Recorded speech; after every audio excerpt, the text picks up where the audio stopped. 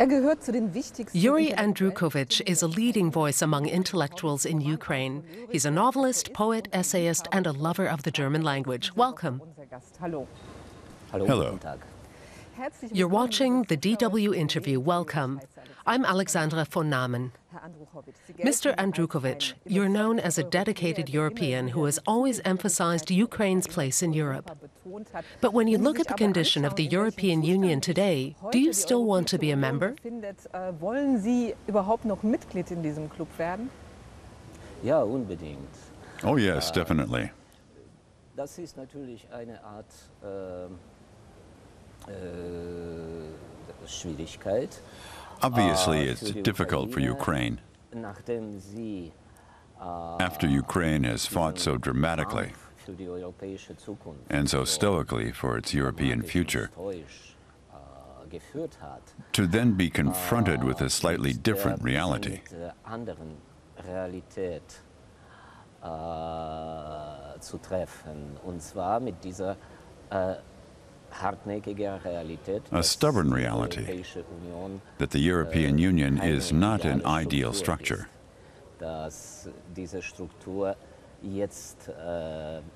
and it's a structure that's facing so many challenges in itself.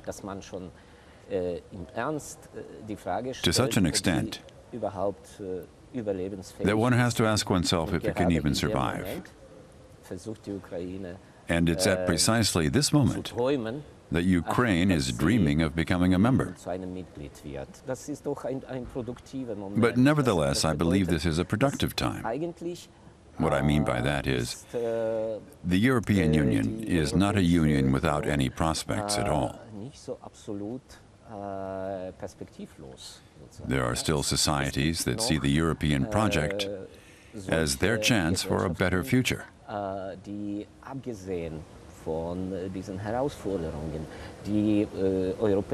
Despite all the challenges,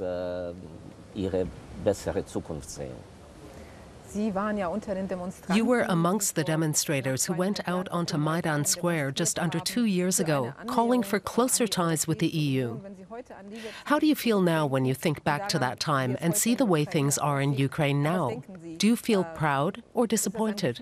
Vom Stolz oder eher Enttäuschung? Äh, Für mich persönlich ist das äh, eher das Erste. And for me personally, it's more a sense of pride. I don't regret taking part.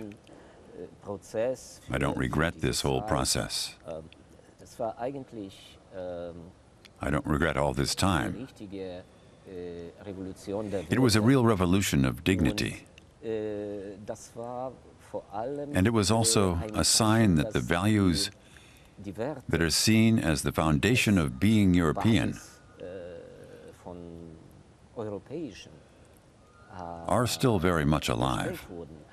äh, dass sie immer noch lebendig sind, äh, dass sie so wirken können, dass These values had such an effect äh, that millions of people were mobilized with this popular uprising. gemeinsame bürgerliche Bewegung mobilisieren. Und äh, sollte ich noch äh, einmal And should I ever write another äh, novel? Einen Roman schreiben, I dream constantly about writing one, but I can't seem to get started. I would like the novel to be about things like this. sollte vor allem über sowas erzählen. Can you think of a particular encounter or scene that you experienced? Dann erlebt haben? Das war schon die letzte Phase des Maidan. Also Yes, in the last phase of the protests on the Maidan, Äh, Das war schon die Zeit, als it was a really dangerous time.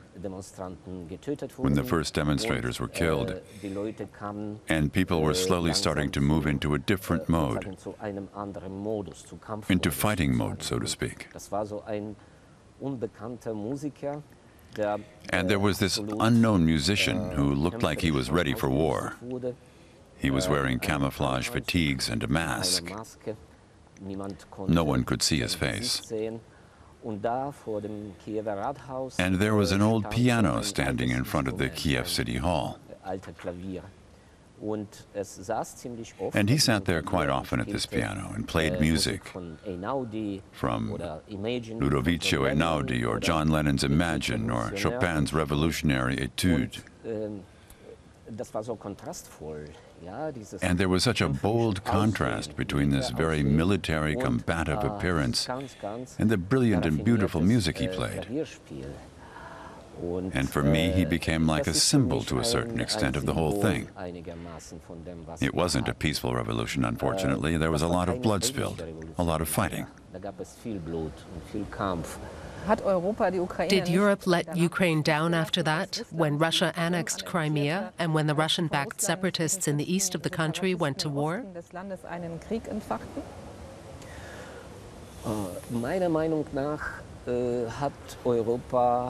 Meiner Meinung nach hat Europa in my opinion, Europe did everything that was possible, and it still is doing that today. The European Union works primarily through diplomatic channels, and I think that's the right way to do things. Because this whole war argument is our responsibility now. It's Ukraine's responsibility to build up its army and increase its defense capabilities.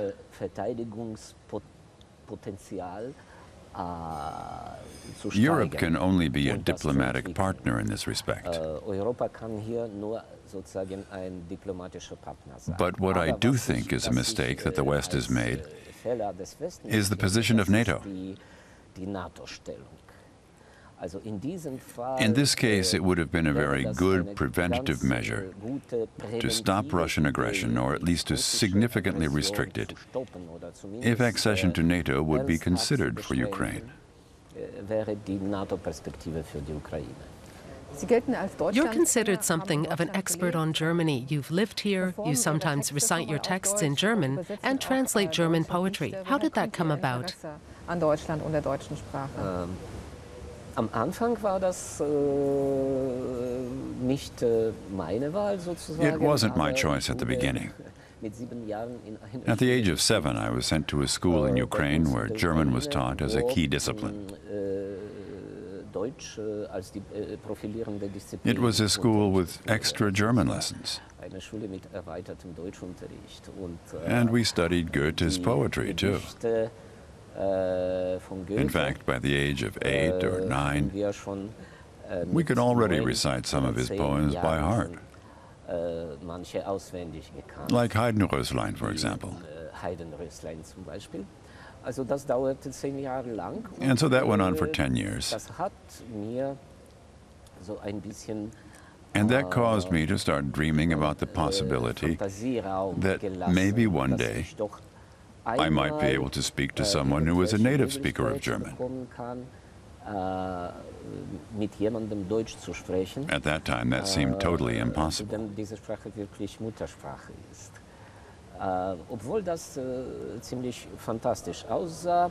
At the end of the 1970s, I had no chance of being able to visit communist East Germany, let alone West Germany, of course über die, die Bundesrepublik äh, gar nicht zu sprechen. But times change. And at the beginning of the 1990s, I was able to come to Germany for the first time. And I came then in my status as someone who had translated the poems of Rainer Maria Rilke.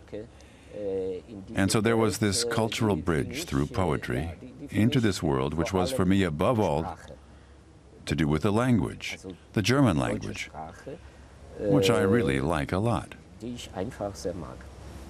You've received many international prizes, German ones too. Now you've just received the Goethe Medal for your work in promoting the German language and the intellectual exchange between Germany and Ukraine. Do Germans really understand how Ukrainians think?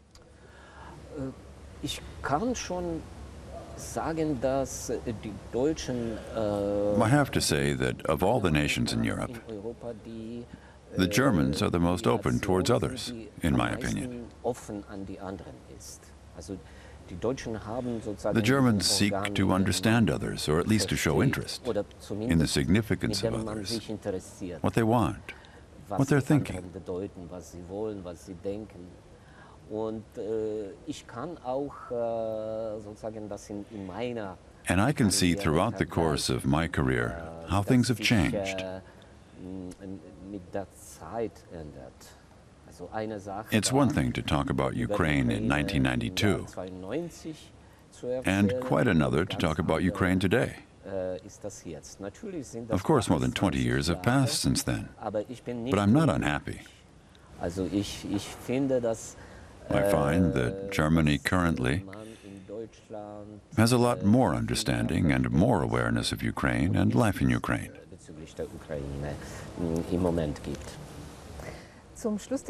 We always round off the DW interview with three open ended sentences that I would ask you to complete. If your daughter Sophia, who is also a writer, would ask you to read her new manuscript before it's published, then? Then I would drop everything and read it. Are you happy that she's become a writer too? Yes. Not because she's my daughter, but because she's a brilliant writer. It's a great pleasure to read anything new she's written. The next time I meet Ukrainian President Petro Poroshenko, I. Oh. I'll remain silent. Why? Because I have so much to say that he would never have the time to listen.